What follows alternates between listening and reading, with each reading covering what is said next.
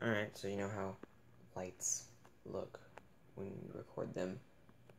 Um, so it may not look accurate, but solar eclipse is going to happen pretty soon, um, like in three hours, so I'm going to try to record that. Um, yeah, got a little bit of, got some light, like the 3D glasses you get, the paper ones you'd get at a theater, um, but they're just like super, super dark. So we get to watch the eclipse, which is pretty cool.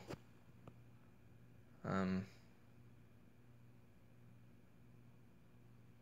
I guess that's that.